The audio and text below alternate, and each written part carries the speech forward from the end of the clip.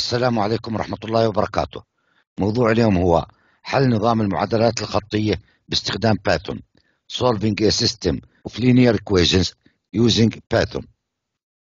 لحل نظام المعادلات الخطية في بايثون يمكن استخدام مكتبة NumPy التي توفر دوال للعمل مع المصفوفات وحل المعادلات الخطية. أي في بداية البرنامج يجب إحضار NumPy as a name we choose.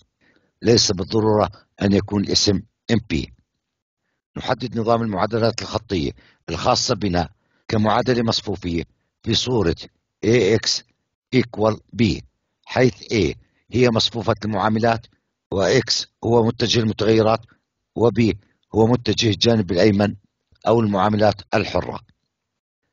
فعلى سبيل المثال هذه المعادلات الخطية ذات الثلاث مجاهيل المصفوفة A هي اثنين ثلاث ناقص واحد أربعة واحد اثنين وثلاث اثنين ثلاث. والمتجه به هو واحد اثنين ثلاث. كل ما علينا القيام به هو إدخال مصفوفة A والمتجه B ومن ثم استخدام المكتبة NumPy بالمكون linear algebra لإيجاد متجه المجاهيل x, y, z. import numpy as mp المصفوفة a تساوي mp array equal 2 3 ناقص 1 4 1 2 3 2 3 للمثال قيد البحث.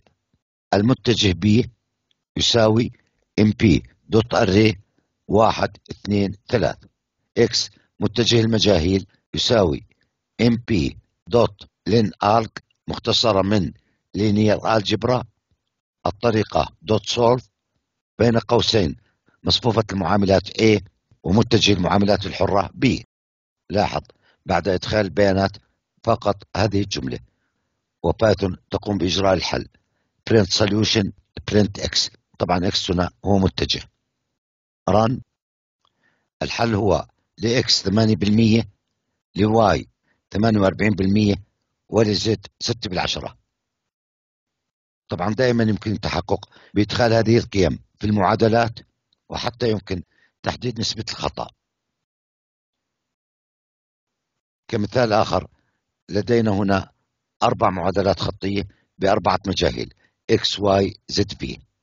المصفوفة A تساوي 2 3 ناقص 5 2 أربعة ناقص اثنين ثلاث ناقص أربعة واحد ثلاث ناقص اثنين واحد ثلاث ناقص اثنين ثلاث واحد.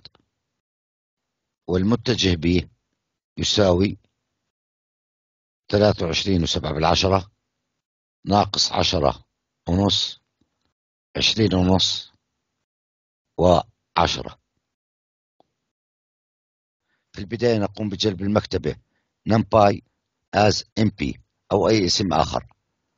ندخل المصفوفة A mp array تساوي 2 3 ناقص 5 2 4 ناقص 2 3 ناقص 4 يجب إدخال A صفا تلو الآخر.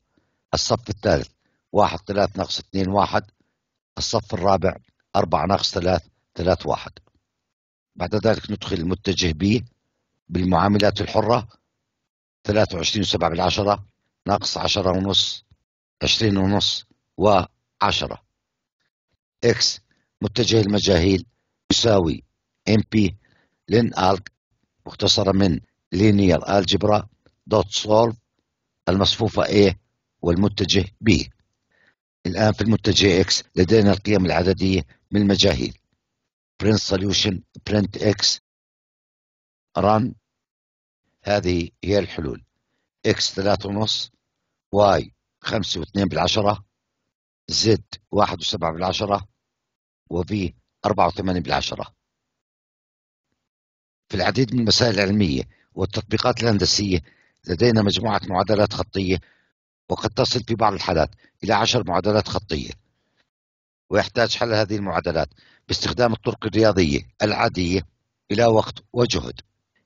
كما شاهدنا يمكن حل هذه المعادلات بكل سهولة في بايثون شكرا لكم على المشاهدة والسلام عليكم ورحمة الله وبركاته.